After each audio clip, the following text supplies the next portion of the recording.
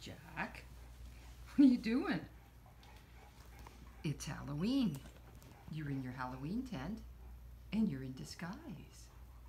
You've got your lion disguise on. And you're the not moving lion. Because you're really ticked at mom. And look how pretty Ellie looks. Ellie's got her formal wear on. She looks pretty good.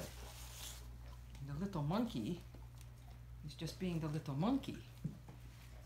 Because Jack's decided that he likes to stay on the penthouse of the crate. One who uses the crate the most is Jack. Oh, come on, Jack. It's Halloween. Cheer up. Maybe not, Mom. How many more days till the holiday's over? It's it can't end soon enough. Happy Halloween, Jack.